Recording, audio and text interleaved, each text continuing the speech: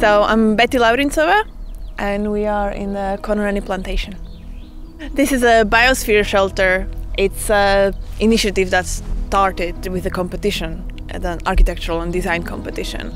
So the competition was part of the national development strategy for arts and culture on the island. That was managed by Culture Vannin and Arts Council together. I lived in Sweden at that time. I lived in Stockholm. I was working as an urban designer. And I was planning to move to the island. It was a couple of months before I took the leave to actually move. And I was researching the island from my computer. I think it was a Facebook group of the Society of Architects.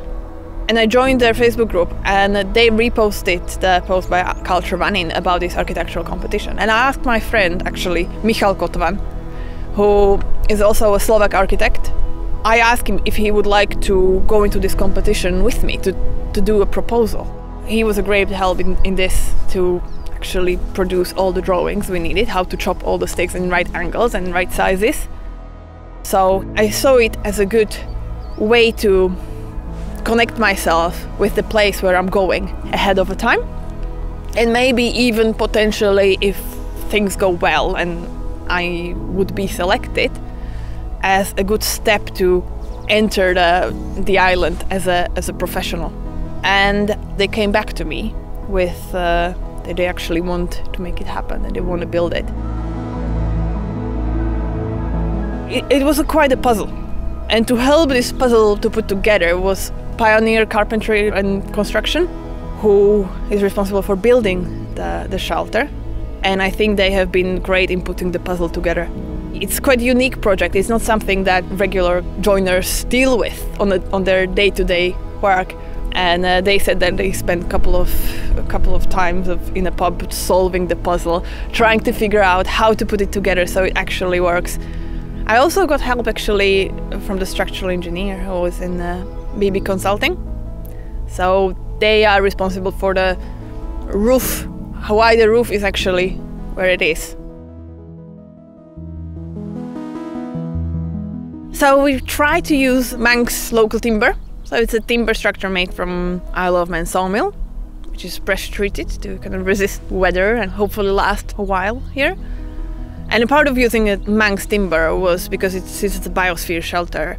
So a big part of the biosphere is people, the society, which has some relationship with their environment. So the choice of material was, was one of it. It's opened towards Douglas Bay, so you can sit there and enjoy the views while being sheltered from the north winds. It has a plan of a triangle, so it's a triangular shape if you look at it from the top. And the triangle kind of goes through the whole structure because the roof is also slated for the water to, to fall down. So if you look at it from the back, it looks like three triangles joining together. And one, one wall of it is perforated, so there are little gaps in it. So when you sit there, you can see who's coming at you from from the left, from the path, or the other way around. When you're arriving, you see if there's someone hiding. So it's the safety aspect was actually how it started. But I think as a result, it also frames the view really nicely when you're coming because you can you can look at the Douglas Bay in between those little sticks, and I think it frames it very nicely.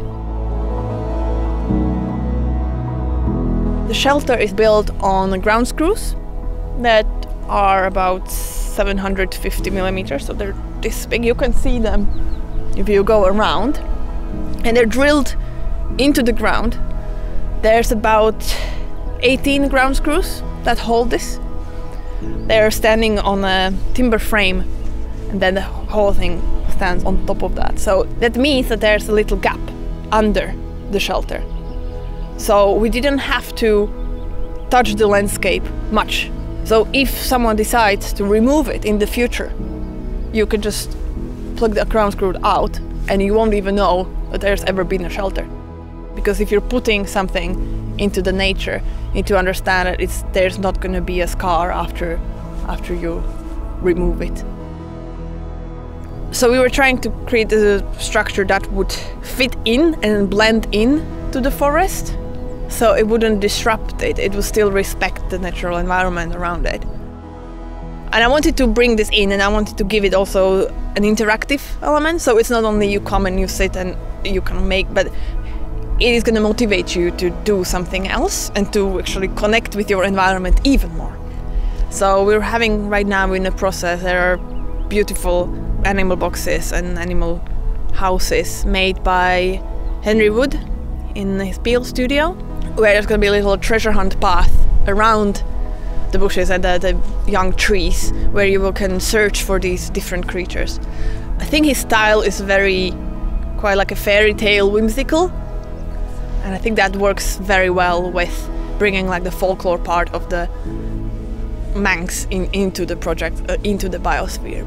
Yeah, it's been it's been really nice way for me as I wanted to get connected with all these people and uh, to create something with them. I think it's the one of the best ways to connect with your new home.